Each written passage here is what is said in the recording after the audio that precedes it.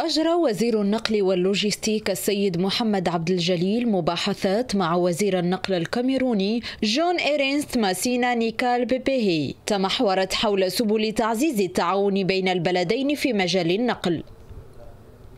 بلادنا عازمة على تعزيز التعاون مع المغرب في جميع مجالات النقل. وهذه المباحثات تعد استمرارا لتلك التي جرت بين البلدين شهر يوليوز الماضي والتي همت إعداد عقد إطار يمكن من تحديد مجالات التعاون على مستوى النقل البري والبحري والجوي والسلامة الطرقية.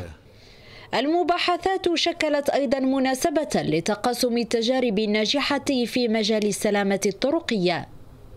تطرقنا ل سبل التعاون أو آه، يعني تقوية التعاون بين البلدين في جميع مجالات النقل سواء كانوا النقل الطرقي أو السككي أو البحري وكذلك النقل الجوي.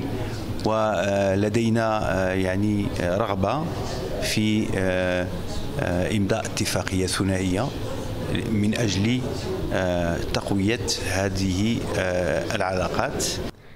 المباحثات التي جرت على هامش أشغال الدورة الثانية لجائزة كوفي عنان للسلامة الطرقية أوضحت رغبة البلدين المشتركة في تعزيز التعاون بين المملكة المغربية والكاميرون في جميع مجالات النقل.